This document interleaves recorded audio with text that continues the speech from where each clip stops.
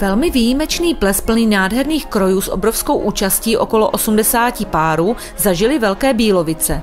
Jedenkrát za čtyři roky se zde koná Stárkovský krojový ples, kde jsou pozváni všichni stárci a stárky, co kdy ve Velkých Bílovicích stárkovali. Největším zážitkem byl nástup a průvod všech stárků na tanečním sále kulturního domu.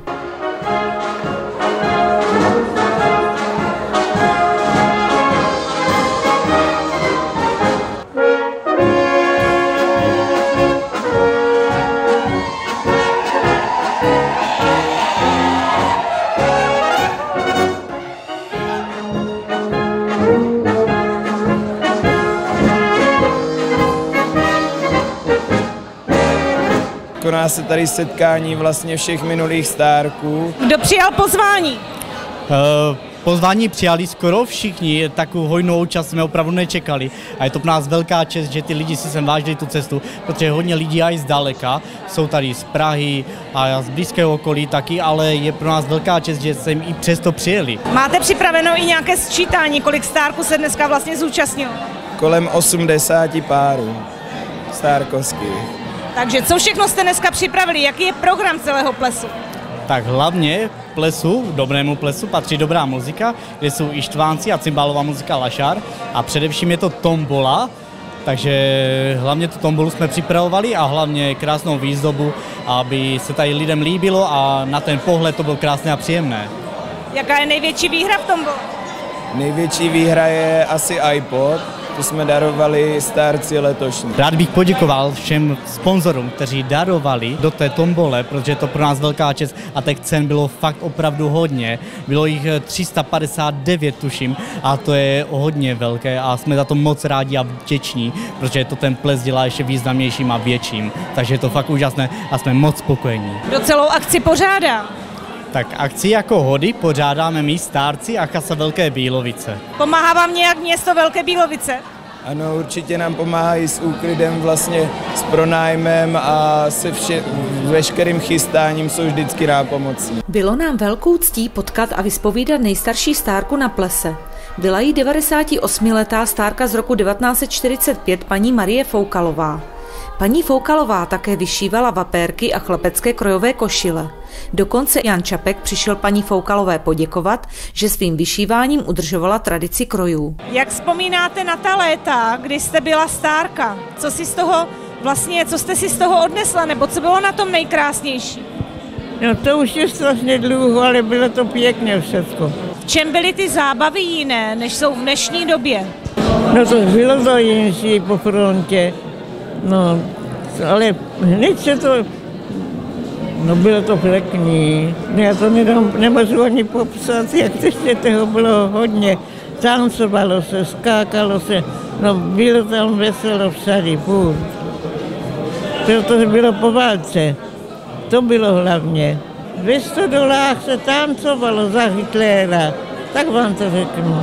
Hmm. To bylo všechno, co jsme tancovali. Bývali, a jsem taky byla stárkou tenkrát. A můj bratr byl stárek. tak se to oslavovalo, když to skončilo, byli jsme rádi, že No byli jsme rádi, že i nás to nemůžeme říct. Nejstarším stárkem na plese byl pan Jan Kachyňa, stárek z roku 1961. Jak vzpomíná na léta svého stárkování? Tehdy to bylo takový moc skromný, jo? protože tehdejší režim tomu nepsal, jo? tak nás bylo všechno všady, nás bylo devět párů, jo? to bylo všechno. Jo? Problémy, byl, problémy byl vůbec to udělat. Jo?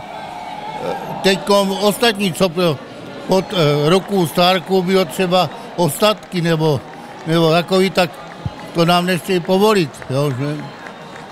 Prostě nebyli jsme politicky fundovaní. Jaké zábavy se vlastně v tom roce konaly? Tehdy bylo zábav, prosím, a teď bylo, bylo odvedenci měli zábavu, jo. Ostatky byly, jo. Plesů bylo 6-7. Kde skončil váš kroj? No, to měl, tehdy byl slovácký kroužek ustanovený. To bylo taky takový, no. Ustanovil se slovácký kroužek, scházeli jsme tam, měli jsme cymbalovou muziku, jo A když jsme chtěli vystupovat na veřejnosti, my jsme se museli naučit ruskou písničku. Teď si představte, v krojách a ruská písnička. To si ještě pamatuju do dneška. Večerný zvon jsme zpívali. Stárky ty mývali kroj svůj. Jo? My jsme to měli o slováckého kružku. Slovácký kružek vlastnil tyto kraje a my jsme si to půjčovali. Půjčovali, chlapi teda. Pan Kachyňa také zavzpomínal, jak v roce 1974 bylo 20 až 25 párů a nyní se schází pod máju na 60 párů. Je krásné, že mladá generace tradice udržuje a navíc se chasovní tradice stává čím dál tím víc populárnější. O ten letošní ples stárku po čtyřech letech se postarali ti současní stárci a chasa a mohou sklidit jen obdiv, jak se jim to povedlo. Co dalšího mají v plánu? Jakou další akci chasa chystá? Nejbližší akce bude Fašán, který se bude konat 19. února a všichni jste srdečně zváni, protože zde je to obnoveno po, několik, po několika letech a je to pro nás velká čest, že město se to opravdu, že si to vezme do rukou a pořádají to hlavně oni.